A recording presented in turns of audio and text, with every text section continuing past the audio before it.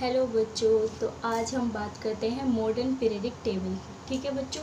क्या बात करेंगे हम? मॉडर्न पीरियडिक टेबल ठीक है?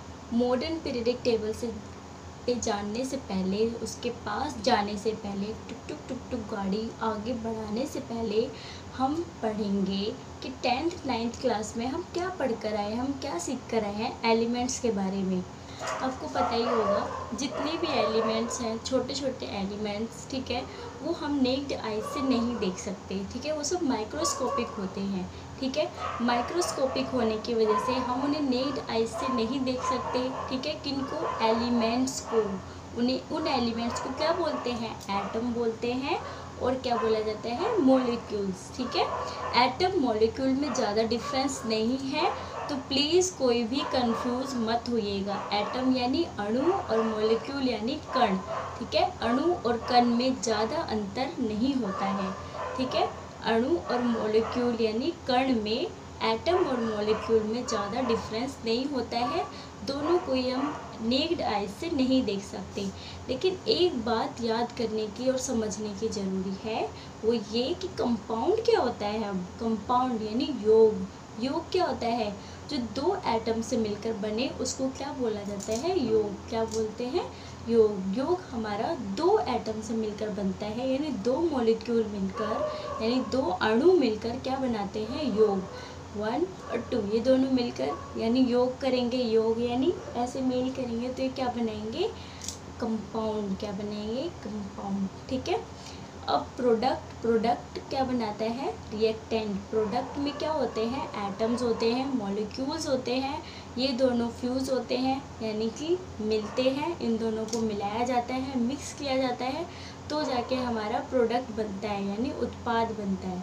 ठीक है? अभी क्रिया से क्या बनेगा? उत्पाद। ठीक है? तो ये सेशन जो है ये बच्चों के लिए, हिंदी मीडियम वाले बच्चों के लिए भी है और इंग्लिश मीडियम वाले बच्चों के लिए भी। क्योंकि ये बेन बेसिक चीज़ें पढ़ा रही हूँ मैं इसमें, ठीक है?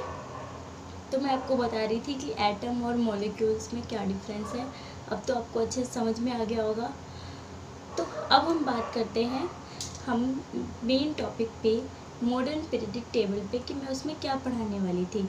देखिए बच्चों आप जो पढ़कर आए हैं नाइन टेंथ में क्या पढ़कर आए हैं, तत्व को मैंने आपको बता दिया कि क्या होता है, ठीक है? तो नाइन टेंथ में हमने पढ़ा था टेंथ क्लास में बेसिकली हम पढ़ते हैं, आगे चलकर एटम्स के बारे में पढ़ते हैं। एक अच्छा अच्छा खासा नया चैप्टर है टेंथ क्लास में आपके लिए। क्या है कि एटम में क्या होते हैं? एटम्स होते हैं आपके मेरे साथ गिनियर टिप्स पे। Hydrogen helium lithium beryllium boron carbon nitrogen oxygen sulphur phosphorus chlorine argon ठीक है? इस तरीके से होते हैं ना ट्वेंटी एलिमेंट्स दिए गए हैं। कोई मना मत करिएगा, आपकी बुक में ये नहीं है। आपकी बुक में है, आपको पढ़ना है। ट्वेंटी एलिमेंट्स है, क्या है? ट्वेंटी एलिमेंट्स और ट्वेंटी एलिमेंट्स किस तरीके से है?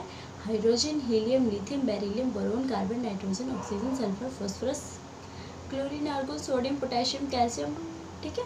कुछ इस तरीके से दिया गया है तो आप प्लीज़ उसको पढ़िए। प्लीज़ प्लीज़ प्लीज़ प्लीज़ ये आपको, अगर आप चार बार, पाँच बार उसे पढ़ेंगे ना तो आपको याद डेफिनेटली याद हो जाएगा, ठीक है? चार से पाँच बार पढ़ना है, उससे ज़्यादा भी पढ़िए। जब तक आप किसी चीज़ को बोलेंगे नहीं, बोल के रटेंगे नहीं, आपको याद नहीं होगा। और लड़कियाँ तो भाई डेफिनेटली परफेक्ट होती है रटने में। तो ये रटिए ठीक है? हाँ तो मैं आपको पढ़ा रही थी कि hydrogen helium lithium beryllium boron ये सब क्या है? ये सब एलिमेंट्स हैं, ठीक है? अब हम इलेवन ट्वेल्थ में यानी आगे क्लास में आते हैं। अपने अगर बायोलॉजी ली है या फिर नॉन बायोलॉजी लिया है अपना कोर्स इलेवन ट्वेल्थ में तो मेडिकल कोर्स लिया है या फिर नॉन मेडिकल लिया है केमिस्ट्री उसमें कंपलसरी होती है, ठीक है? केमिस्ट्री कंपलसरी होने का मतलब है कि आपको elements atoms chemical formula compound ये सब आपको पता होने चाहिए, ठीक है? इथेन क्या होता है? मिथेन क्या होता है? ठीक है? ये सब भी आपको पता होना चाहिए, ठीक है? इथेन यानी वन कार्बन एटम मिथेन यानी फोर जिसमें चार कार्बन एटम्स होते हैं, ठीक है? प्रोपेन यानी तीन कार्बन एटम ठीक है? अच्छा तो हम बात कर रहे थे किसकी? एटम्स की, ठीक है? तो हम पीरियडिक टेबल में एटम्स पढ़ेंगे। देखिए एटम्स मैंने आपको स्क्रीन पे दिया है। मॉडर्न पीरियडिक टेबल हमारी स्क्रीन पर है। क्या है कि देखिए, आपके फ़र्स्ट ग्रुप में आपको दिया गया है लाइन से, ठीक है? क्या क्या दिया है? पढ़िए मेरे साथ। हाइड्रोजन लिथियम सोडियम पोटेशियम दिया गया है ना? Hydrogen, lithium, potassium rubidium caesium, ये सब क्या है? ये सब ग्रुप है। इस तरीके से लाइन से जा रहे हैं आप वन, टू, थ्री, इस तरीके से जा रहे हैं तो ये ग्रुप है, ठीक है? और अगर आप ऐसे जा रहे हैं, आपकी लाइन अगर ऐसे जा रही है तो वो क्या है आपका पीरियड्स वो क्या है? पीरियड ठीक है? अगर वन ऊपर से नीचे आ रहे हैं तो वो ग्रुप है, और साइड से, यानी लेफ़्ट से राइट जा रहे हैं या फिर राइट से लेफ़्ट, राइट से लेफ़्ट तो जाएँगे नहीं आप, लेफ़्ट से राइट जाना है, ठीक है? तो लेफ़्ट से राइट जाएँगे तो पीरियड, क्या है? पीरियड, ठीक है? रो, ठीक है? एक तरह का रो रो भी बोल सकते हैं कॉलम्स इस तरह इस कॉलम ऐसे कॉलम्स में डिवाइड किए गए हैं मॉडर्न पीरियडिक टेबल ठीक है? सभी बच्चों के लिए बहुत ज़रूरी है प्लीज़ इसको ध्यान से पढ़िए। पहला और दूसरा ग्रुप ये अल्कली मेटल्स होते हैं। कैसे मेटल्स होते हैं? अल्कली मेटल्स ठीक है? आपको ऐसे याद करना है S block D block P block कैसे याद करेंगे? एस ब्लॉक एस ब्लॉक ये है पी ब्लॉक बीच का डी ब्लॉक इधर का और नीचे साइड में जो लहर रहा है ना, हवा में तैर रहा है यूँ यूँ करके तो वो है एफ़ ब्लॉक वो कौन सा है? एफ़ ब्लॉक एफ़ ब्लॉक होता है आपका लेंथेनोइड्स और एक्टिनोइड्स कौन से होते हैं? ये लेंथेनोइड्स और एक्टिनोइड्स ठीक है बच्चों? लेंथेनोइड्स और एक्टिनोइड्स कौन से हैं वो? लेंथेनोइड्स और एक्टिनोइड्स कौन से? लेंथेनोइड्स और actinoids lanthanoids actinoids f block को क्या बोलते हैं? लेंथेनोइड्स और एक्टिनोइड्स ठीक है? तो अब हम पढ़ रहे हैं बेसिकली पीरियडिक टेबल को कैसे याद किया जाए? दो ब्लॉक को क्या बोला जाएगा? एस ब्लॉक, बीच के जो पाँच ब्लॉक है उसको पी डी ब्लॉक और साइड के छह ब्लॉक को क्या बोलेंगे? एफ़ पी ब्लॉक और नीचे के ब्लॉक्स को क्या बोलेंगे? एफ़ ब्लॉक, ठीक है? नीचे दो ब्लॉक्स हैं, उसको क्या बोलेंगे? एफ़ ब्लॉक, और ये जो एफ़ ब्लॉक है, ये आपका कैसे है? रो में है ये पीरियड्स में है, ठीक है? और बाकी सारे आपके किसमें हैं? बताइए बताइए, बाकी सारे किसमें हैं? ग्रुप में, ठीक है? फ़र्स्ट ग्रुप आपका एल्कली मेटल्स होता है और सेकंड ग्रुप आपका एल्केलाइन अर्थ मेटल्स होता है। कौन सा? Alkaline earth metals alkali metals first group और एल्केलाइन अर्थ मेटल्स होता है आपका सेकंड ग्रुप ठीक है? यानी एस ब्लॉक में जो पहला ग्रुप आपको नज़र आ रहा है स्क्रीन पर, वो होता है आपका एल्केली मेटल्स और सेकंड ग्रुप जो आपको नज़र आ रहा है, वो है एल्केलाइन अर्थ मेटल्स ठीक है? आपको स्क्रीन पर डॉट डॉट दिखाई दे रहा है। इस तरीके से डॉट डॉट बना हुआ है। ये जो डॉट डॉट बना रखा है, ये है आपका मेटोलॉइड्स ये क्या है? मेटोलॉइड्स ठीक है? मेटोलॉइड्स मेटोलॉइड्स मेटोलॉइड्स ठीक है? अब हम, मैं आपको बताती हूँ कि मेटोलॉइड्स क्या होते हैं। मेटोलॉइड्स को हिंदी में क्या बोला जाता है? मेटोलॉइड्स होते हैं उपधातु क्या होते हैं? उपधातु मेटोलॉइड्स होते हैं उपधातु ठीक है? क्या होते हैं? उपधातु इसके एग्ज़ाम्पल है बोरोन, सिलिकॉन, जर्मेनियम, एल्टीमनी और सेलेनियम टेलपोरियम, ये सब क्या है? मेटलोइड्स है उपधातु हैं, ठीक है? एल्कली मेटल्स होते हैं हिंदी में क्षारीय धातु। कौन से? क्षारीय धातु। लिथियम वाले जो ग्रुप आपको नज़र आ रहे हैं, ये है क्षारीय धातु। क्या है ये? क्षारीय धातु, ठीक है? एल्केलाइन अर्थ मेटल्स कौन से होते हैं? क्षारीय पृथ्वी धातु। क्या होते हैं? क्षारीय पृथ्वी धातु। Hydrogen, lithium, potassium, beryllium, caesium, ये सब जितने भी आपको स्क्रीन पे दिख रहे हैं, ये सभी क्या है? अल्केलाइन अर्थ मेटल्स है। क्या है ये सभी? अल्केलाइन अर्थ मेटल देखो बच्चों, हाइड्रोजन तो एक गैस है तो उसे मैं आपको शो नहीं कर सकती ना स्क्रीन पे गैस को शो कर सकती हूँ, बताइए। नहीं ना? तो हाइड्रोजन गैस है, बेरिलियम मैंने आपको शो किया है, देखिए स्क्रीन पर बेरिलियम कैसा दिखाई दे रहा है, एक पत्थर की तरह, पत्थर के आकार में दिखाई दे रहा है ब्लैक ब्लैक ठीक है? ये आपका बेरिलियम है। अब नेक्स्ट मैं आपको शो कर रही हूँ मैग्नीशियम। मैग्नीशियम देखिए कैसा है। दिख, देख, आपको स्क्रीन पे नज़र आ रहा होगा। You can see okay guys next है कैल्शियम कैल्शियम भी देख सकते हैं आप। सिल्वर के फॉर्म में नज़र आ रहा है। स्ट्रॉन्टियम देखिए स्ट्रॉन्टियम कैसा दिख रहा है आपको? अदरक टाइप अदरक नहीं है ये। कहीं इसको आप अदरक बना दें। ठीक है? स्ट्रॉन्टियम स्ट्रॉन्टियम का एटमिक नंबर क्या है? थर्टी एट, कैल्शियम का ट्वेंटी। एटमिक नंबर भी साथ में देखिए।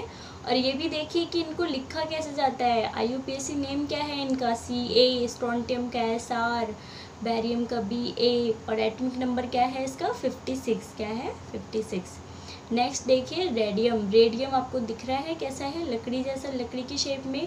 ठीक है?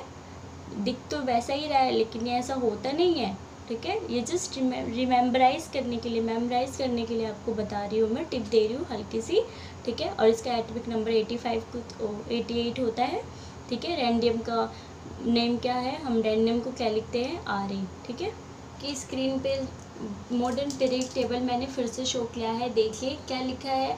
हाइड्रोजन के ऊपर यानी एच एलिमेंट के ऊपर वन ठीक है? लिथियम के ऊपर थ्री ओके क्या गाइस लिथियम के ऊपर क्या लिखा हुआ है? थ्री सोडियम के ऊपर इलेवन पोटेशियम के ऊपर नाइनटीन रुबेडियम के ऊपर थर्टी सेवन और सीजियम के ऊपर फिफ्टी फाइव और फेरेडियम के ऊपर एटी सेवन लिखा है ना? तो ये सब क्या है? ये सब इसके एटमिक नंबर हैं, ठीक है? एटमिक नंबर हैं क्या? यही, ठीक है? वन टू थ्री जितने भी नंबर्स उनके ऊपर दिए गए हैं। वो सब क्या लिखे हैं? एटमिक नंबर ठीक है? क्योंकि ये बॉक्स में लिखा हुआ है ना, इसलिए इसको ऊपर नंबर्स को ऊपर लिखा है। लेकिन जब हम राइटिंग्स में लिखते हैं, अपनी कॉपीज़ पे लिखेंगे तो हम क्या लिखेंगे? हाइड्रोजन वन ऐसे करके लिखेंगे, नीचे की तरफ़ लिखेंगे, ठीक है? तो सबका अपना अपना तरीका होता है लिखने का। वैसे एटमिक मास ऊपर लिखा जाता है और एटमिक नंबर नीचे। इस बात को भी ध्यान रखिएगा बच्चों, ठीक है? अब मैं आपको बताती हूँ कि एटम क्या होता है? ठीक है? और उसके अंदर कितने इलेक्ट्रॉन्स होते हैं? कितने इलेक्ट्रॉन्स रिवॉल्व करते हैं? कितने इलेक्ट्रॉन्स लॉस करते हैं? कितने गेन करते हैं? ये सब मैं आपको बताने वाली हूँ, ठीक है?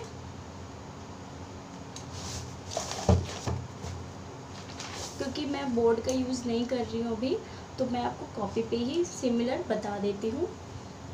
देखिए, वो एटम का स्ट्रक्चर कुछ इस तरीके से होता है, ठीक है? गोल सर्कल दिया गया है। इस तरीके से साइंटिस्ट ने दिया है। किसने दिया है? बोर ने। बोर की स्पेलिंग लिखिए बी ओ एच आर ठीक है? चाहे बच्चा हिंदी मीडियम का है या इंग्लिश मीडियम का है, उसके लिए बहुत ज़रूरी है समझना कि बोर ने ये एटम का मॉडल दिया है। मॉडल है ना? मॉडल है ये एक तरह का। ताकि हम समझ पाए कि एटम होता कैसे है, कैसे दिखता है विजिबल कैसा होता है तो उसको समझने के लिए हम बोर मॉडल हमें पढ़ना ज़रूरी है, ठीक है? तो बोर मॉडल में बीच का जो पार्ट होता है, उसे क्या बोलते हैं? न्यूक्लियस क्या बोलते हैं? न्यूक्लियस ये जो बिंदु बिंदु आपको नज़र आ रहा है, ये क्या है?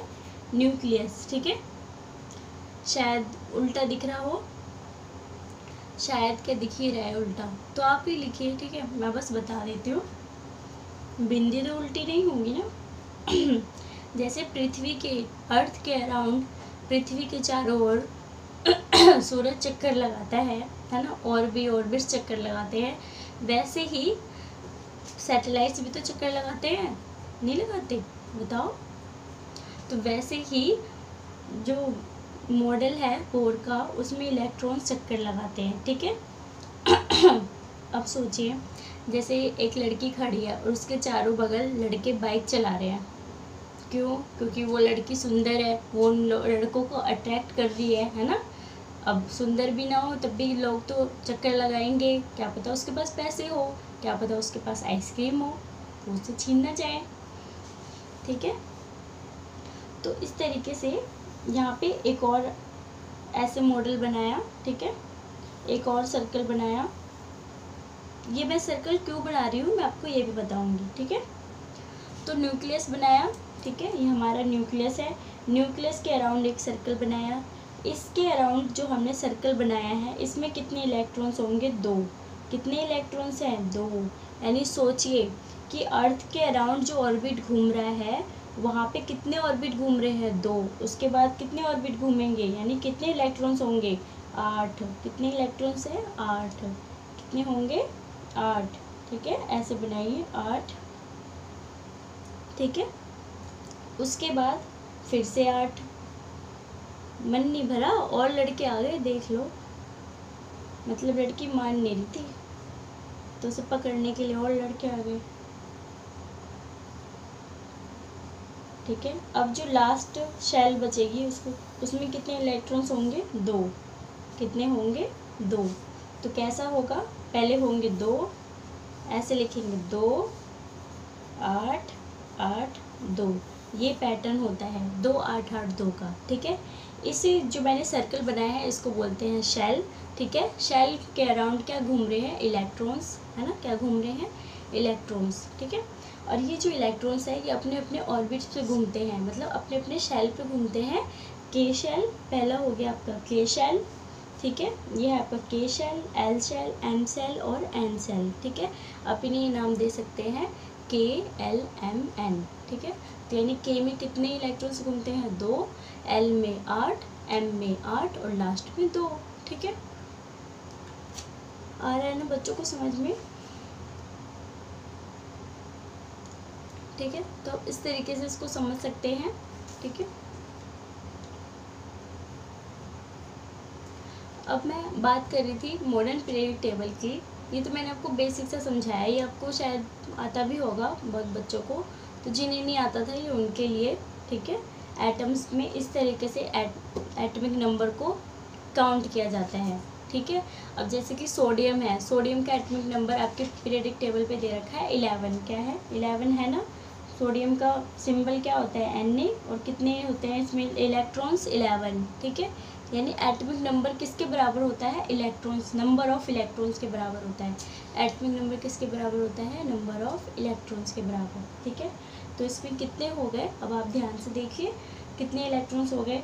दो तो पहले मतलब मैं लिखे हुए हैं, अब आप खुद बनाइएगा। दो है, आठ है तो दस हो गए। ठीक है? अब कितने, हमें कितने चाहिए? ग्यारह ही चाहिए तो हम इन्हें हटा देंगे। ठीक है? इन्हें हम हटा देते हैं। क्योंकि हमें ग्यारह ही चाहिए तो यानी दो, आठ और एक ग्यारह, है ना? तो ये जो एक इसके पास बचा है, एक एन एम शेल के पास एम शेल के पास एक इलेक्ट्रॉन्स बचा है तो ये किसी के साथ जाके जुड़ जाएगा लॉस हो जाएगा, यहाँ से निकल जाएगा, ठीक है? यानी ये किसी के साथ जाके अटैच हो जाएगा। तो यानी ये क्या कर रहा है, ये ये ये लॉस कर रहा है, ठीक है? और जब कोई भी एटम लॉस करता है तो उसके ऊपर पॉजिटिव चार्ज लग जाता है। क्या लग जाता है? पॉजिटिव चार्ज ठीक है? इसलिए सोडियम कैसा होता है? पॉजिटिव चार्ज वाला होता है। ठीक है? तो यानी वो लॉस कर रहा है एक इलेक्ट्रॉन ठीक है? आया ना समझ में?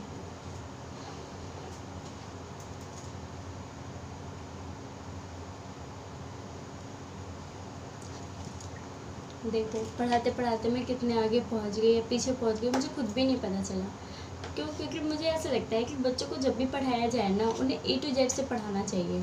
अब ए टू जेड से मेरा मतलब ये नहीं है कि उन्हें A B C D E F G ये सब समझाया ये सब पढ़ाया रट्टा लगाया नहीं। आई मीन टू से कि उनको बेसिक बेसिक चीज़ें ना उनके दिमाग में चलती रहनी चाहिए, उन्हें कंसेप्ट क्लियर होता रहना चाहिए ताकि वो कोई भी चीज़ को ईज़िली कैप्चर कर पाएँ इमेजिन कर पाएँ, ठीक है?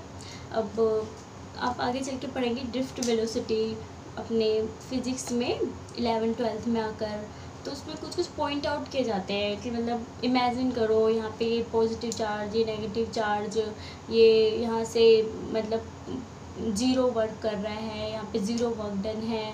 तो इस तरह की चीज़ें ना इमेजिन इमेजिनेबल होती हैं, ठीक है? तो वो सब हमें कब क्लियर होगा? कंसेप्ट जब हम शुरू से ही उसे लेकर चलेंगे, ठीक है? कार्बन के पास कितने हैं? इलेक्ट्रॉन्स चार हैं। कितने हैं इलेक्ट्रॉन्स चार? ना वो किसी को दे सकता है, ना ले सकता है। अब देखिए, दो यहाँ भर गए, दो इस सेल में भर गए, दो इस सेल में भर गए। ख़त्म बात यहीं पे, है ना? तो यानी दोनों साइकिल में दो दो भर गए। दो तो इसमें भाई कंपलसरी होते हैं और इसमें, जिसमें आठ आने थे, अब उसमें दो ही है है ना? यानी कि कार्बन के पास चार ही इलेक्ट्रॉन्स है, यानी उसका एटमिक नंबर भी चार है। तो इसका क्या मतलब है? कि ना तो वो लॉस कर सकता है, ना ही वो किसी को दे सकता है, ना ले सकता है। No gain no loss okay हाँ तो मैं आपको पढ़ा रही थी ब्लॉक्स ठीक है? S block P block D block F block तो देखिए एस ब्लॉक में कितने इलेक्ट्रॉन्स होते हैं? एस ब्लॉक में होते हैं दो इलेक्ट्रॉन्स पी ब्लॉक में छः और डी ब्लॉक में दस इलेक्ट्रॉन्स और एफ़ में होते हैं फोर्टीन कितने? फोर्टीन आप इस तरीके से एक बॉक्स बनाइएगा। ऐसे बॉक्स बनाइए, ठीक है? यहाँ पे लिखिए एस पी डी एफ़ इस तरीके से लिखिए, उसके नीचे लिखिए दो, छः, दस, चौदह. ऐसे लिखेंगे, ठीक है? ये सब क्या है? ब्लॉक्स हैं, ठीक है? कि कैसे मॉडर्न प्रेडिक्टेबल को डिफाइन किया गया है इन ब्लॉक्स के अकॉर्डिंग ठीक है? आप देख रहे हैं कैसे दिया हुआ है? पी ब्लॉक कैसे दिया हुआ है? डी ब्लॉक और एफ़ ब्लॉक ठीक है? आप देख सकते हैं, ठीक है? इतना तो आपको समझ में आ ही गया होगा कि एस ब्लॉक में टू इलेक्ट्रॉन्स होते हैं पी में सिक्स डी में टेन ठीक है? एफ़ में फोर्टीन तो ये सभी इलेक्ट्रॉनिक कॉन्फ़िगरेशन लिखने में काम आते हैं एटम्स के, ठीक है? तो इलेक्ट्रॉनिक कॉन्फ़िगरेशन हाई लेवल का है। चाहो तो मैं आपको अभी भी पढ़ा सकती हूँ कि कैसे हम one S two S three S four S ठीक है? One S one S two P three S three P इस तरीके से लिखते हैं इलेक्ट्रॉनिक कन्फिग्रेशन को, ठीक है? ये सब मैं आपको अब नेक्स्ट वीडियो में पढ़ाऊँगी, ठीक है? मेरी वीडियोस को लाइक एंड सब्सक्राइब करिए और पढ़ते रहिए काजल मैम के साथ, ठीक है? तो दोस्तों, मेरा नाम काजल है। मैं आपको ज़्यादा से ज़्यादा नॉलेज प्रोवाइड करना चाहती हूँ, क्योंकि मेरा पढ़, मेरा पैशन ही है पढ़ाना, ठीक है? मेरा बहुत बहुत पैशन है कि मैं पढ़ाऊँ, मैं ज़्यादा से ज़्यादा बच्चों को पढ़ाऊँ। तो please support me and subscribe my channel to like my videos and share don't forget to share okay तो मिलेंगे नेक्स्ट वीडियो के साथ।